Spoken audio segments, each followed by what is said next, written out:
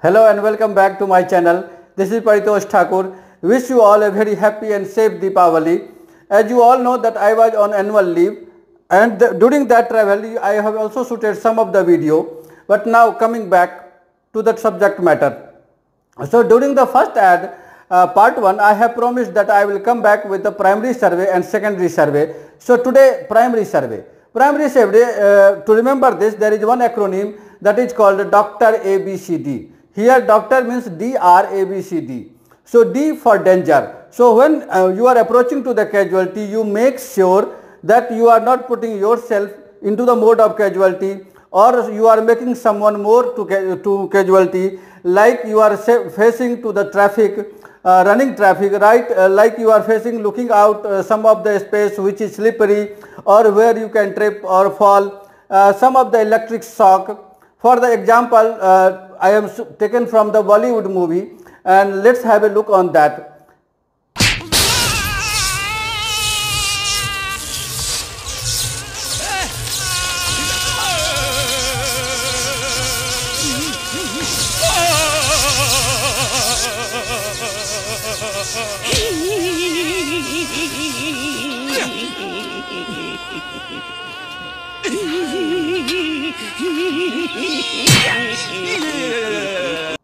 Once you have ensured that there is no potential danger, then start uh, approaching to the casualty. So the first is response.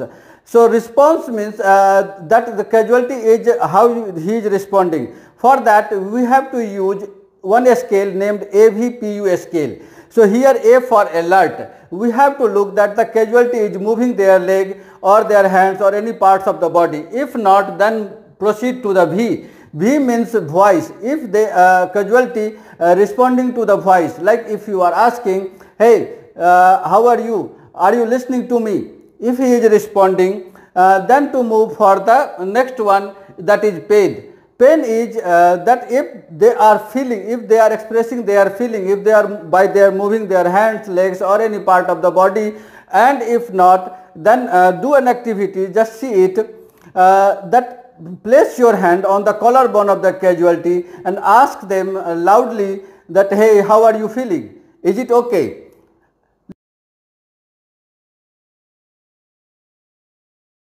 Are you okay?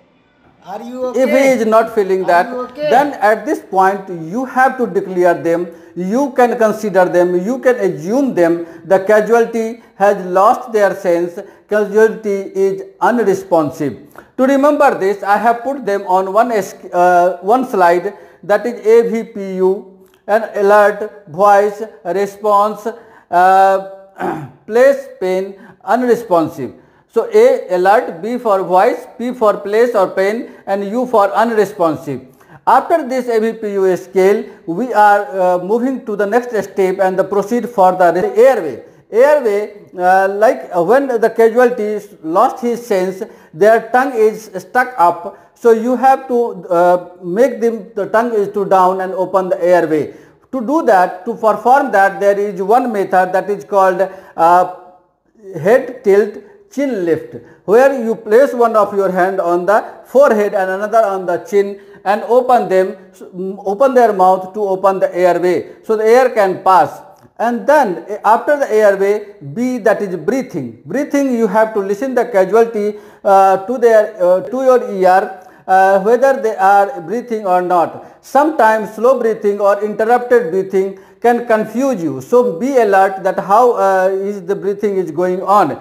If breathing is correct, uh, then okay. If breathing is not correct, put them in the to, into the recovery position. Recovery position is called like hand uh, under the chin to keep the mouth open and one of the leg bent to the support position. This position is called support and the arm bent always to the upside and then the one of the legs should be straight. This is the recovery position where the casualty can get their breathing as fast as.